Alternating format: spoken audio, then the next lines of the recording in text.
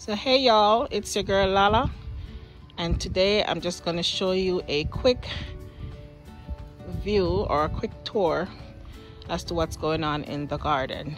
Not much because most of my beds are empty because I have cleaned out what has grown so far earlier between February, March, April.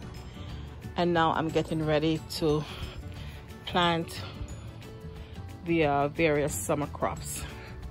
So here I have my papaya tree and look at these beautiful papayas coming in. I'm so excited about these papayas. My first time actually growing them and I'm so excited. Look at that.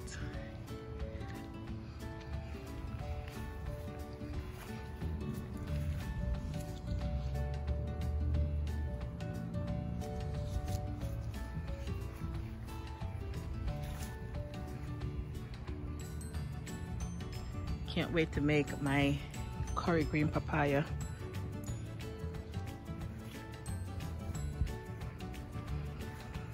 Over here I have a fever grass plant. I have two of these by the way. And I love me some fever grass tea.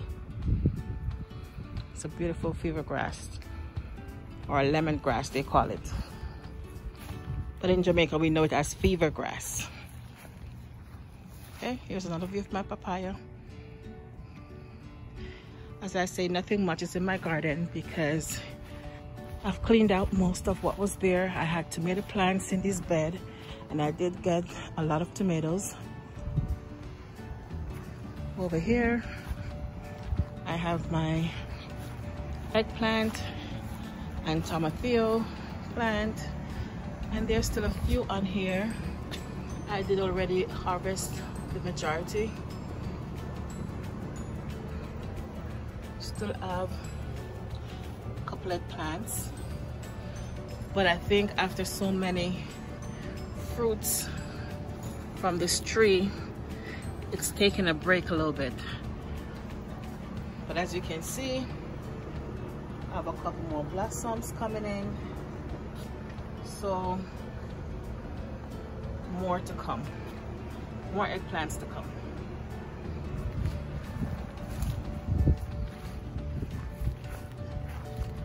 Okay. Here I have a pepper tree. Not sure if this is a scotch bonnet pepper or not but as you can see I have a nice big pepper right there and I have another one right there Here I have an jalapeno plant. Not doing too well, but it has two, two peppers on there. There goes my green beans, another green bean plant. Here, I'm so disappointed. These are Irish potatoes and I don't know what happened. They are not doing well. They were looking so much healthier earlier now I don't know what's going on. Here I have a sweet potato that springs back. Last year I had this whole thing was covered in sweet potatoes, this bed for the summer. And as you can see, this one, it's self-seeded and it's coming back.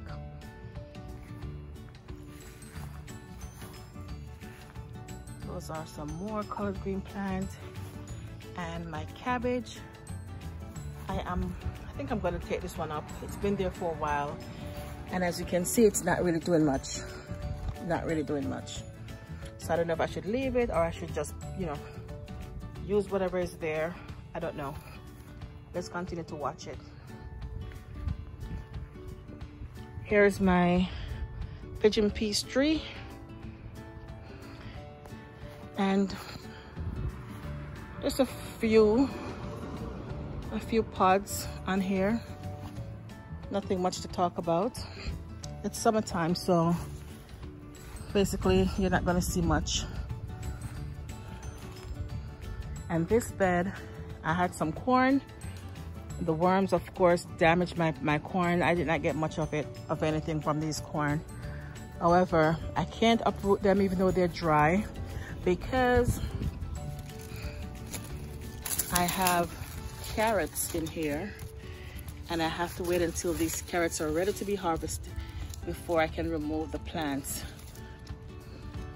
I might cut them down a bit, but I cannot uproot them because they will interfere with the uh, carrots. And here I have some more corn coming in. As you can see, those are corn coming in. Hopefully this set will do better.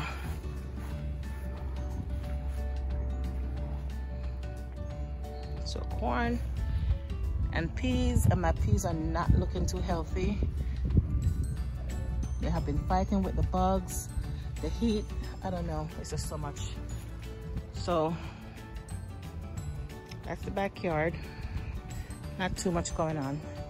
I really need to give it a good clean, you know, pluck out all the weeds.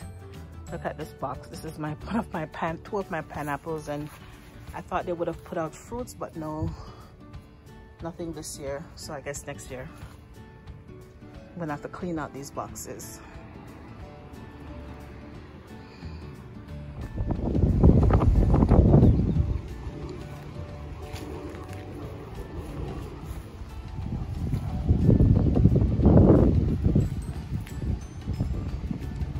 So guys, these are two guava. Two baby guavas are coming up.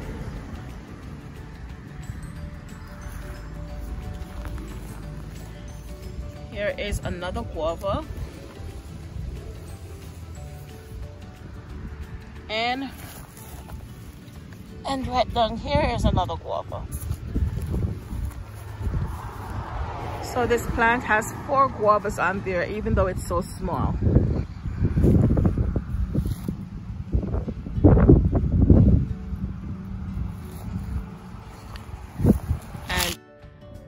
Guys look. I have my own moringa plant. Woohoo!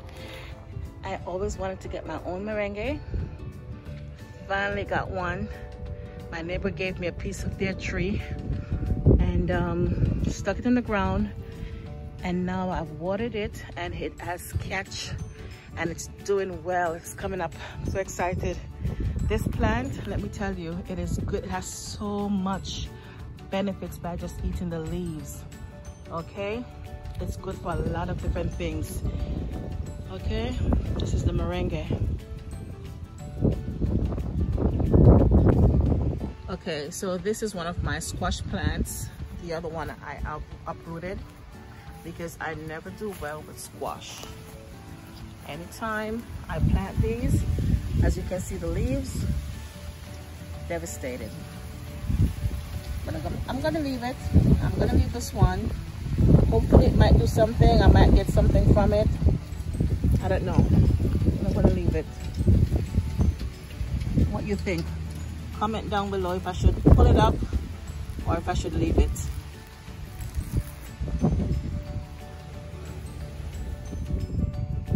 My parsley and my basil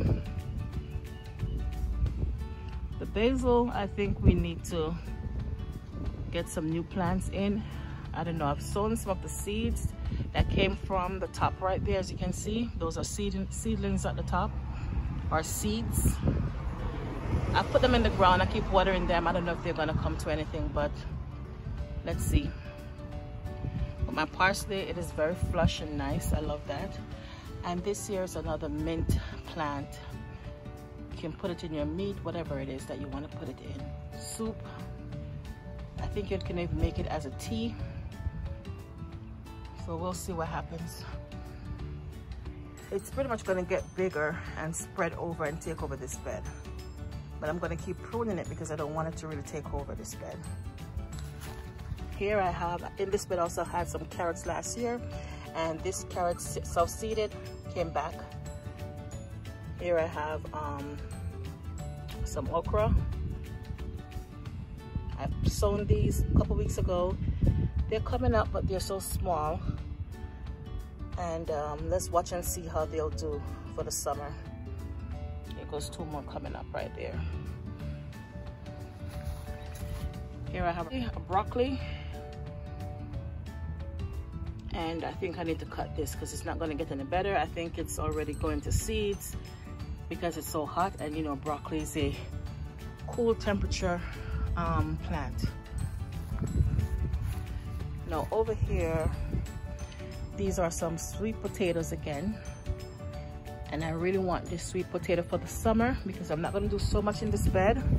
I want the sweet potato to take over this bed. See? So many empty spaces. I've taken out the um, the peas and what else I had in there? Had some other stuff in there. Tomato, right? So I really want this to this potato, it's three of them, to just spread and run throughout this entire bed and give me a whole bunch of sweet potatoes. Okay? So we keep you updated on that.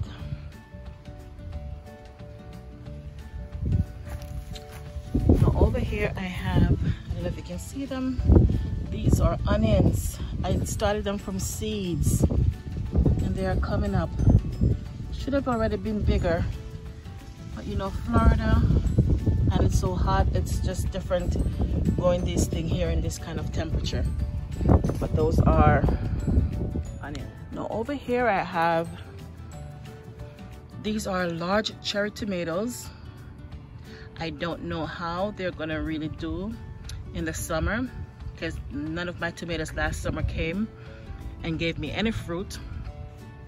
But I put them right here because I have this pine tree that's like shadowing over. So they're getting like partial sun. So I'm hoping that with the partial sun they'll do better. So let's see what happens. And then here I'm gonna get these up soon. Over here these are kohlrabis not much going on with this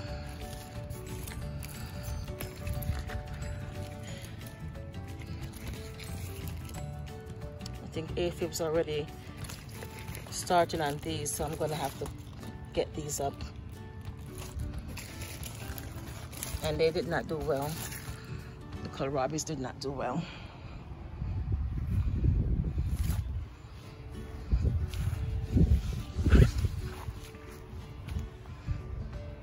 Here I have one more baby white eggplant coming in. Have a little pepper plant with some blossoms on there. Hopefully it will do well. Don't know yet. Here I have another papaya tree. And this one has on two fruits. I don't know if because it's um, partly sh shaded by the tree, why there's only two fruits on here because that one in the back is doing much better. But you see, it is partly shaded by this tree.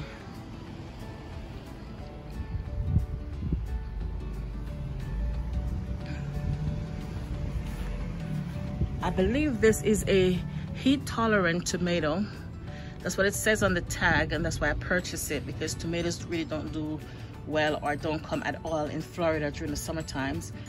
But I picked this up at the store. I think I paid four, four five dollars for this plant. It has on a few tomatoes and I think this is a determinate um, tomato. So after whatever fruits that it bears, the tree is pretty much gonna die. That's what the determinate does. Okay, so it has on quite a few, not much, looks like six fruits on there. Last but not least, I wanna show you my pineapples that are growing. Here goes one of my pineapple. Look how big that pineapple is. And guys, I'm telling you, these are sweet. They're usually sweet. Here's another one. This one is to be so small. I think I alone will eat this one. God's willing. Here is another one. Look how big this thing is. And these are the real organic pineapples. Real organic pineapples. And they are so sweet. And right next to it, I'm gonna remove it. I don't, I'm not sure if I'm gonna plant it in the yard, maybe. If my husband allows me to. But this is a rose apple sucker, a rose apple tree sucker. So last year when we did got those um, rose apples, I, I tossed pretty much all the seeds in this bed. And so far I've seen this one coming up and this one coming up.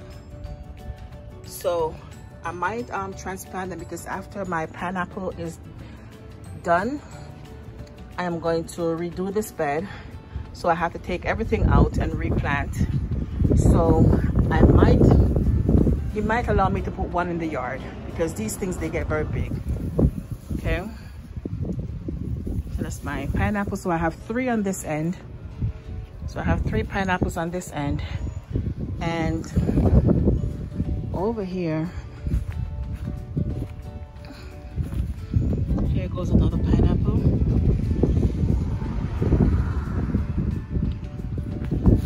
this one didn't do anything.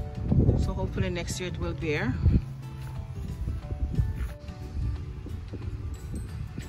these are blackberries.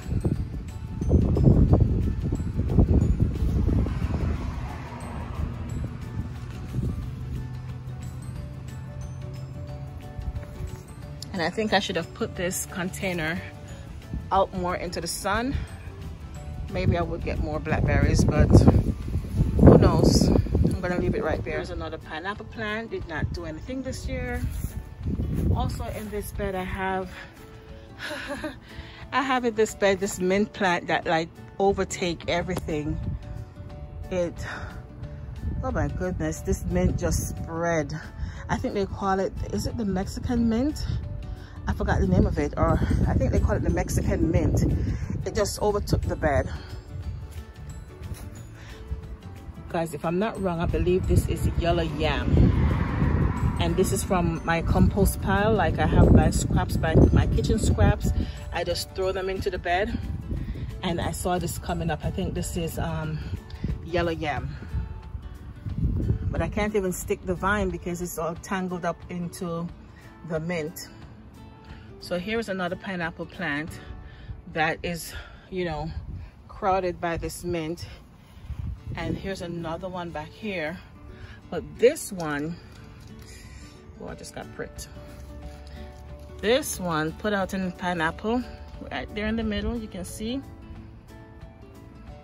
So i have another pineapple right here. So i have five pineapples all together. Thought i was gonna get more but i'm still grateful for what i have. Okay? So that's my main tour my mini tour.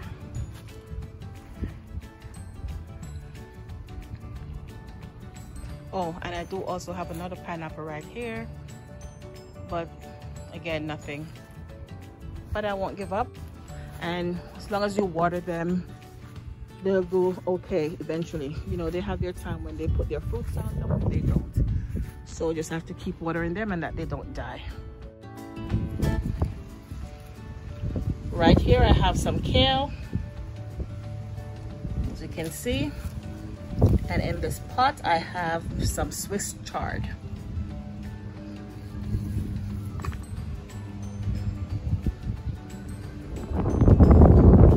Now over here I have some cowpeas.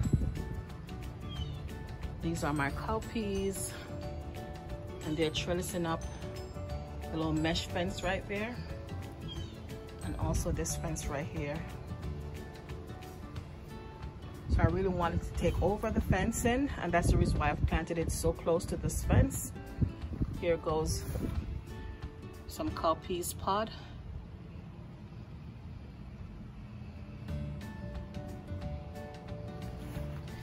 And it's putting out more blossom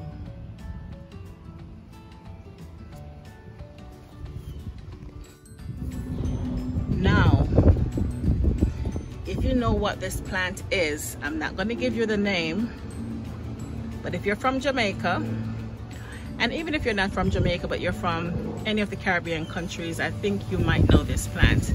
So comment down below and let me know what this plant is. It's a mystery. I won't give you the name. Here I have some more of that same plant. So if you know it guys, comment down below, let me know. I will tell you if you get it correct. So guys, again, if you're new to my channel, welcome, welcome, welcome. Please go ahead and subscribe to my channel while you're here. Press the notification bell to be the first to know when my next video is out. Also, give this video a thumbs up and leave a comment down below. Okay? So talk to you guys.